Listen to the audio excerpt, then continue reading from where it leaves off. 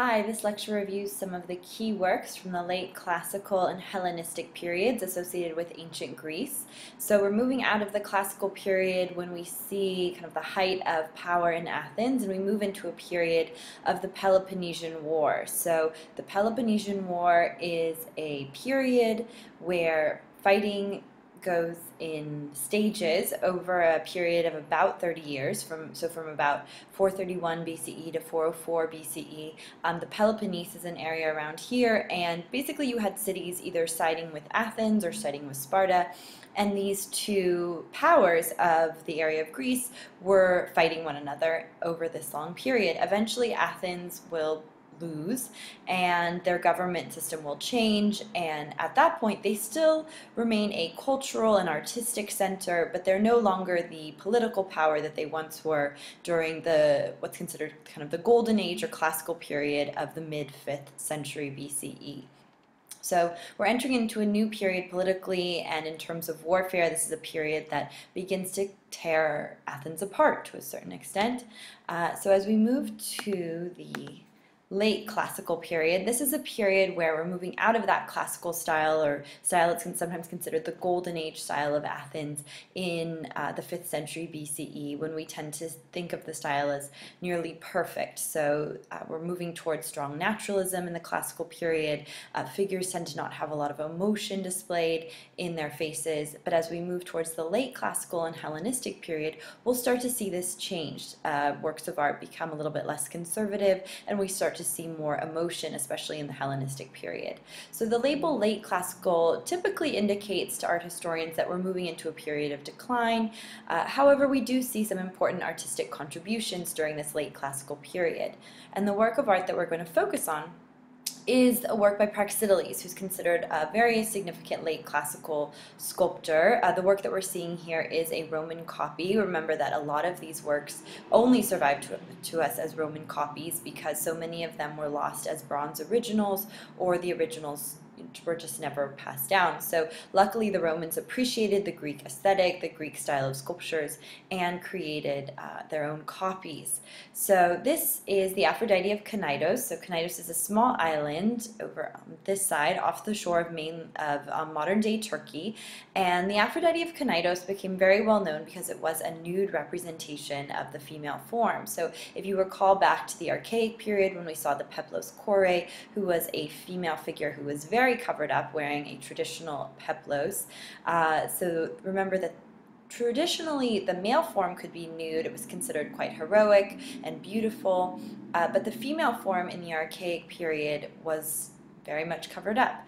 However, by the four, by the fourth century, so this period of about 350 to 340 BCE, we do see uh, some new styles of sculptures being produced where we're seeing a nude female. Of course, this is Aphrodite, goddess of love and lust, so it perhaps is considered more appropriate to have her represented in the nude, or at least possible. Uh, maiden goddesses like Artemis or like Athena would it would be quite scandalous if they were represented in the nude. But nevertheless, this sculpture was quite scandalous, uh, and eventually the people of Knidos accepted it, and it was probably displayed in some kind of round temple where people could really move around it and see it from all sides. So that's one possibility for its display. Uh, the moment that we're seeing here is we're catching her in a moment either as she's about to bathe or she's just finishing up her bathing, um, but it's as if we've caught her and she's covering up her genitalia, she's reaching for her garment, it's covering up a hydria, which is a vase that holds water. You can just see the handle of it here. Presumably the original would not have this strut connecting it, but because the Romans typically carved their sculptures out of marble uh, and it lacks a certain amount of strength, you need to have these little supports. So the struts provide that support. So uh, this style of sculpture becomes very important, this style of Venus or Aphrodite covering herself up, catching her in this moment. We sometimes call um, the gesture where she's covering up both her genitalia and her breasts as the Venus Pudica gesture, the modest Venus pose. So um, this would presumably be quite exciting to kind of catch this, catch her in a moment where she least expects it. So uh, that would add to the excitement of this sculpture. Next, we move into the Hellenistic period. So uh, there was a period when Alexander the Great becomes quite powerful. Alexander will uh, take control of the area of southern Greece. His father will take control of it. Uh, Philip will take control of it. Then Alexander comes into power, and they're able to spread the power of um, the Macedonians throughout the area of Mesopotamia, through Egypt, all the way into Persia and over towards India. So the empire that he's able to establish in a relatively short amount of time, he rules from 336 uh, at the point of the assassination of his father until his death in 323 BCE. So this period of his death becomes known as the Hellenistic period. So his death up until the death of Cleopatra and Mark Antony um, at the point when Augustus is coming to power in Rome. This is known as the Hellenistic period. It's a period when the empire of and the period of the empire of Alexander is broken up into pieces uh, among the generals of Alexander. So you can see there are different parts of the empire here. Here's the part controlled by Ptolemy. There's another part here, another part here part here. And uh, there were also more independent cities. So Pergamon, for example, had its own area, and we'll look at Pergamon in just a second. So art of the Hellenistic period is quite uh, unique for its drama, its emotion, its interest in violence, and the extremes of human existence. So uh, it's usually considered quite an appealing style uh, because it explores these areas of human experience and emotion. Uh, the Hellenistic period is quite complex politically because the empire is broken up into these different areas, and it's also considered uh, a very important period economically because areas like Egypt were really thriving during this time. So it's an important period in multiple facets of history, um, but in terms of artwork, the style is quite exciting and unique. So focusing in here, we are looking at a work that is again a Roman copy. It's a floor mosaic from the city of Pompeii, which was preserved through the volcanic eruption of Mount Vesuvius in 79 CE or AD. Uh, and so luckily it preserved this floor mosaic, which we believe originally was a Hellenistic painting that commemorates the Battle of Issus, which was a battle that Alexander was involved in against uh, Darius III, who's over here. So um, easy to lose Alexander here because it is a very damaged area, but this is Alexander on this side, this is Darius III over on this side. Uh, we think that it's a Hellenistic sculpture or Hellenistic uh, painting, or a Hellenistic painting was the model for this floor mosaic because it has a very uh, earth tone color scheme. So it has these kind of light browns and then darker browns and yellows. Uh, it doesn't have a very detailed background to it. Uh, so we do think that it is based on a Hellenistic original. Uh, again, there's not much of a landscape, and there are areas that are missing from the mosaic, um, but it does give us a sense of the kind of drama that was incorporated into Hellenistic works of art. So there's definitely a crowd that's moving about here. Um, you can see Alexander running into battle here. He's already stabbed this individual here, but you can see he's already looking past him onto Darius III. And Darius III is being pushed off of the battlefield or being carted off the battlefield in his chariot. Um, you can see his charioteer grabbing onto his whip, whipping the horses, while uh, Darius is kind of extending his arm, possibly begging for mercy or you know hoping for Alexander to retreat. Uh, but you can see that on his side, the Persian warriors or soldiers are looking rather concerned. It's a bit chaotic, um, and we would expect that Alexander's soldiers would look quite orderly on this side. But the general idea is that they're charging into battle, whereas the Persians are looking more chaotic. Uh, a couple of artistic devices that are noticeable. You have a horse that's foreshortened, so it's actually going into the picture plane, which is quite exceptional. And then also you have a figure that's gazing into a shield and seeing his own reflection. So a few elements that have been incorporated here. Right, the Battle of Issus took place right here, just to orient you geographically. Uh, and then here we're just zooming in on Darius III. Uh, you can see him here, and it's usually easy to differentiate the Persians from uh, Alexander's troops. They have a specific style of uh, hat that they're wearing or headdress, and then they also tend to wear pants, long tuni tunics and pants. So it's usually pretty easy to spot them. And the artist of this is attributed to the, the Hellenistic original is Philoxenos of Eretria. Uh, however, there have been some other suggestions as well. All right, another work of Hellenistic sculpture comes from the Victory Mo Monument of Attalus I, who reigned from 241 to 197 BCE, and it's to celebrate a victory over the Gauls, who were uh, a people that came from the west and were continually kind of harassing different cities around the area of Pergamon. So Pergamon's located in modern-day Turkey, and uh, this this is one idea for how the Victory Monument would have appeared, but the idea was that uh, the people of Pergamon were finally able to defeat this group of Gauls. And so what we see here is a Gallic chieftain, rather than being taken captive, he's committing suicide and having already killed his wife. So we see her here collapsing. We see him plunging the dagger into his chest, and little bits of blood are coming down. Again, this is a Roman copy, uh, so we're not seeing the original.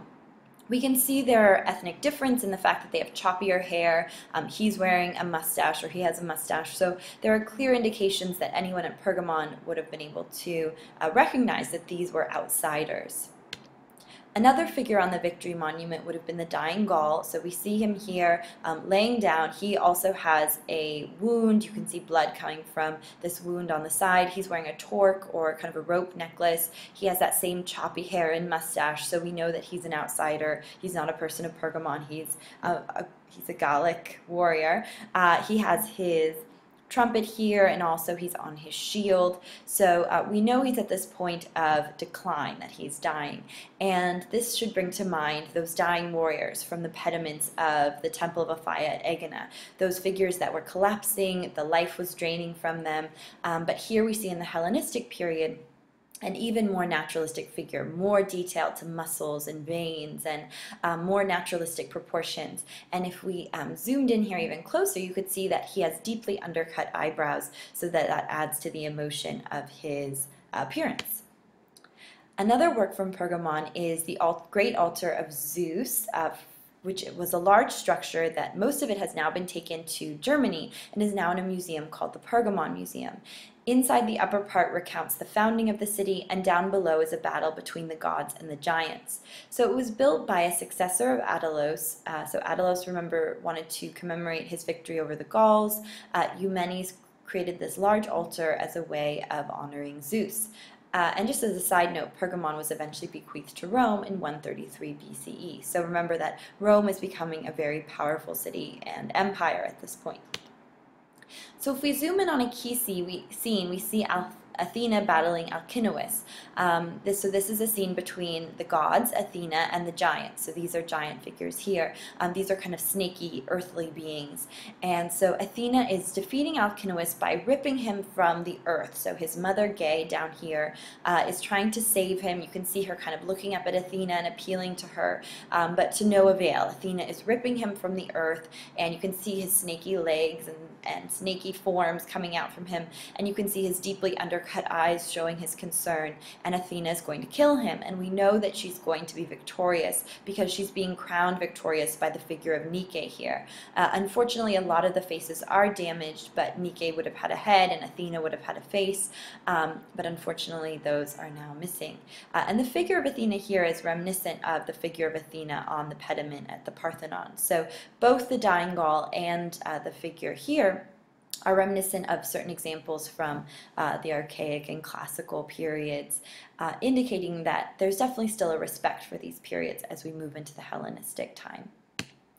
And a final Hellenistic work, probably one of the most famous currently in the Vatican, is the Laocoon. And this is a work of art that um, is believed to be by three sculptors of Rhodes. Uh, there were stories about this work, stories that it was crafted out of a single piece of marble, but in fact it's probably made of multiple works. When this, uh, or multiple pieces, when this work was first discovered, Michelangelo was actually there when it came out of the earth in around the year 1500. Uh, so it was a very impressive sculpture in the ancient past, but also was very important in the Renaissance as well.